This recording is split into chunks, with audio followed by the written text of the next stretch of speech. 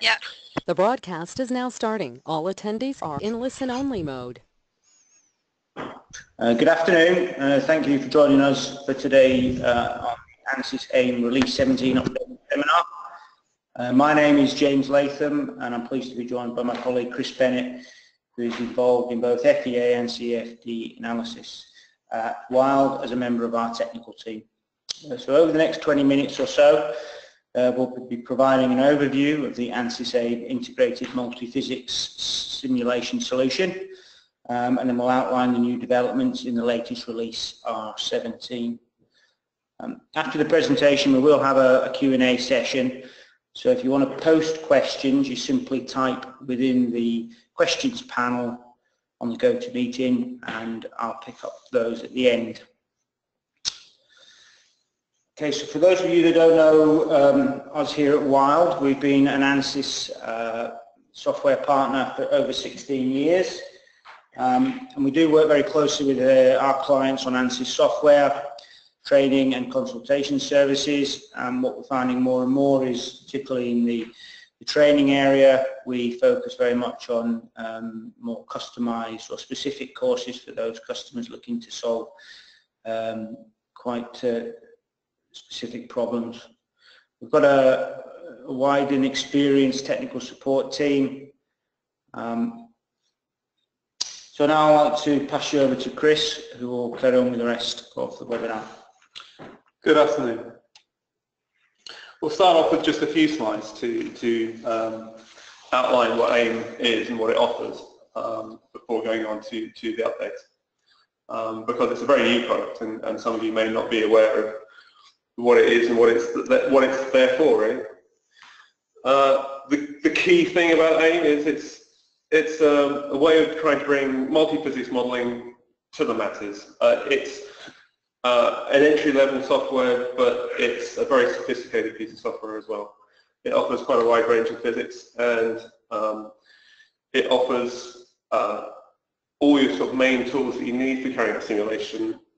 It offers access to all these tools through a single window, same window. And it's built on the many, many years of the ANSYS experience. Included is uh, integrated geometry creation and preparation, uh, quite sophisticated automated meshing for multi-physics, so it's meshing uh, both fluids and structures. Uh, and of course there's the multi-physics angle. Within the same package you're doing fluid flow, stress analysis, heat transfer, and electrical conduction. And uh, one of the, the unique selling points is the, the coupling, the ability to couple between uh, multiple kinds of physics. Uh, AIM is based on Workbench technology um, and it's integrated with uh, DesignXplorer and SpaceClaim. Um, but it's, it's, it's built very much um, to be easy to pick up and to, to use. Uh, and for that reason it has a particularly short learning curve, um, which also means it's sort of ideal for a very occasional use. Um, and the interface focuses very much on a, a, a guided workflow. Key data and interaction can be through the, the GUI or through forms. Which basically means you can uh, enter information on boundary conditions just by clicking on uh, the appropriate part in the in the uh, user interface or by name selection through through forms. There is uh, a reasonable amount of additional uh, functionality of the extra bells and whistles which we're used to in the more sophisticated pieces of software. Uh, well, the, the, the, higher range software like CFX, Fluent and Mechanical, but mostly these are, are hidden behind filters. So they're, they're there if you need them, but they're not going to be there to, to, to scare off the occasional user. The user interface itself, just a sort of quick introduction to that. Um, a key uh, feature of, of, AIM is the, the templates, the, the, process templates which it uses to um, uh, set up the uh, flow, the problem flow. And on the left-hand side, um, under the, the, window marked study, as is highlighted, you've got some typical templates that, that come with the software. So you've got individual structural, fluid flow, thermal, electrical conduction, and then some combined ones. The, the, this particular case here is, a, is one of the um, uh, standard uh, uh, AIM tutorials, and it's of a fluid structure interaction problem with a yeah, small uh, variable sensor inside a pipe. And this is a fluid structure interaction, and you can see when you click on one of the templates buttons, what happens is you get the, the workflow here, as is shown in the bottom of the screen. Now, on the left-hand side, on the first, the first item is geometry, which is just basically deals with the geometry import. Then there is two separate tracks. The top track covers the fluid, uh, fluid dynamic simulation. Uh, the first option is configuration, which basically just means that you're selecting the parts of the geometry which are solely concerned with the fluid flow. Then there's a meshing phase, uh, a flow simulation phase, and a results. On the bottom line, there is a, a configuration phase again, um, meshing phase for the structural side, the structural simulation, and the combined results at the end of that. And setting up for structure interaction, structure interaction problem is literally as simple as this. It's just clicking one button, then you've got the, uh, the flow path there, and you can work through the flow path. Everything's very much highlighted, what needs to be updated and what isn't, um, where there's any problems. So it's, it's, it's, a, it's a very easy to use piece of software. Updates for version 17. There's a number of uh, uh, generic updates, uh, including the list is the integrated geometry modeling. Uh, previous versions, um, SpaceClaim was available, but not directly through the, the same user interface um, and the same for DesignXplorer. Now design integrated design points have all come into the main interface. Uh, there's rendering technology, which we'll cover a little bit later, uh, enhanced solution monitoring, and uh, enhanced emphasis on wizards, templates, and the use of ACT, which is the uh, customization toolkit uh, that ANSYS is promoting to, to help further develop those. On the structural side, the, some of the new things coming in include uh, strain-life fatigue modeling, uh, remote loads, shell elements. And for CFD, there's a, there's a better interface generator, which we'll talk about briefly in a couple of slides time. Uh, better initial condition specification, and new far field boundary conditions. On the integrated geometry modeling, um, this is using a SpaceClaim it is now, as I said before, directly accessible within the, uh, the AIM study page, which is the main page. Uh, the templates uh, to deal with geometry have been updated to reflect this new port and geometry editing options. As soon as you're actually into geometry editing, then you're into the standard sort of SpaceClaim window, but it is contained within the, the AIM window. This will allow faster geometry updates. It will also allow um, uh, easier parameterization of these sort of geometrical geometric features that you would choose from one. Integrated design points, this is much the same um, story here um, with uh, design optimization, the, the DesignXplorer tools accessible within the same interface. Certainly, uh, optimization studies is a, something that's particularly easy to do within, within the AIM uh, system. The rendering and the enhanced display. Uh, any solid bodies can be rendered, which makes for better graphics, basically. Um, this can be done at any sort of stage in, in, in the process. Um, so it's a useful way to marking parts of the geometry which are being modeled and also just to help help you visualize what's going on. Enhanced solution monitoring. Uh, the previous version of of, of AIM had a very much a, a prescribed set of um, uh, convergence criteria of the, the, the, solution graphs it was actually outputting. Now it's much more free you can add in extra um, features. Um, extra properties that you, you, you may want to, to, to model, including calculated properties. Wizards and templates, um, AIM Project Wizard designed to uh, automate the AIM simulation.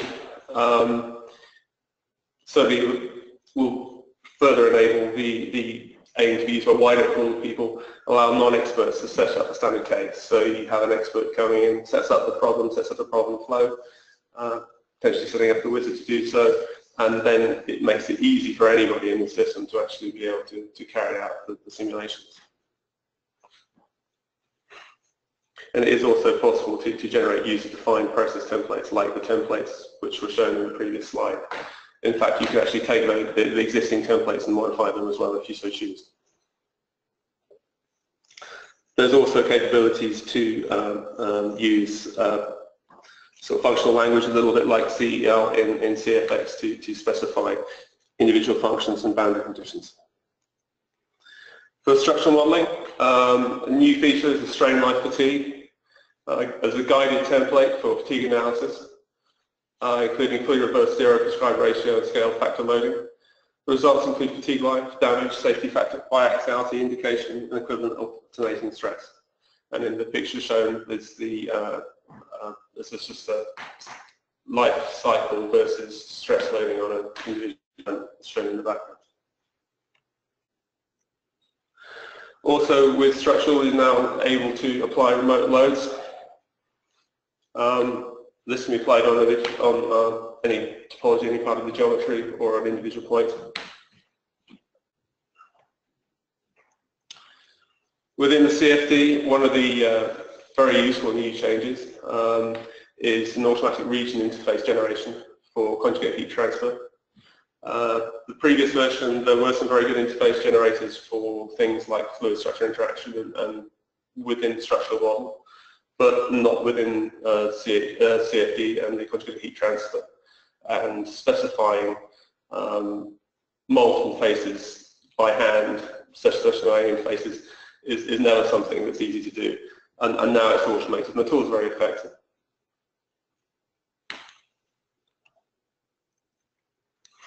CFD, uh, there's a better specification for initial conditions. Um, including an automatic specification, so it's using the boundary conditions to, to, to specify initial conditions in a simplistic way, a little bit like Fluent does. Um, you've also got the ability to set up far field boundaries. This is typically for um, compressible flow simulations using ideal gas law. At this point, it's also worth mentioning uh, ACT. AIM's very much been designed with uh, the point of view of making it easy to script, easy to to to uh, configure for different uh, options. And the main route for doing this is through uh, ACT, the Application Customization Toolkit. Um, this is also designed for helping um, out, well, designing specific flow um, templates and workflows for Workbench um, and for integrating third-party software, and it's based on, on Python scripting. Uh, there is an application store uh, available for within the, uh, currently available for within the customer portal on the ANSYS website, which offers a range of uh, free and paid uh, applications. Right, in summary, uh, AIM is designed for really for design engineers and infrequent users. It's, it is an entry-level piece of software, even though it's a very sophisticated tool. Um, it's also potentially designed for expert users looking to create simple multi-physics problems and also to set up the kinds of templates that uh, um, non-specialists might be able to use in order to, to carry out simple simulations. It's available on a standalone license. It is also bundled with mechanicals and CFD license. Um, version 17 does show major steps forward in usability and functionality. Uh, it's a very much complementary tool to the existing applications. It's not going, it's not going to uh, replace mechanical or, or, the CFD tools, but it's this alongside. It's growing up fast. And um, if you want to find out more, I mean, one of the best ways to do so would be to contact us for uh, an evaluation license. Thank you. Thank you very much, Chris. Um, so I just wanted to bring your attention to some forthcoming training courses that we have. Um, We don't have anything specific for AIM coming up in the next few weeks. Um, but as I said earlier, we're doing a lot more courses where we're interacting with the clients to look at more customized and bespoke. So any specific requirements you have or interests you have, please do get in touch with us. And there is a full list of training courses on our website, so you can uh, look much further into the future to see uh, what's available for you when you have time. So now just go on to a few questions that have come in. Just bear with me. Okay, so first question that's came in was is based on the user interface and the sort of simulation process and the workflow templates, which is what can you do to develop your own to suit your requirements? Well, as we, said earlier, you can actually take, um, uh, you can see the architecture of the existing templates. You can take those and adapt those. You can, you can actually write your own templates as well. It is designed from the point of view of trying to make that process as easy as possible.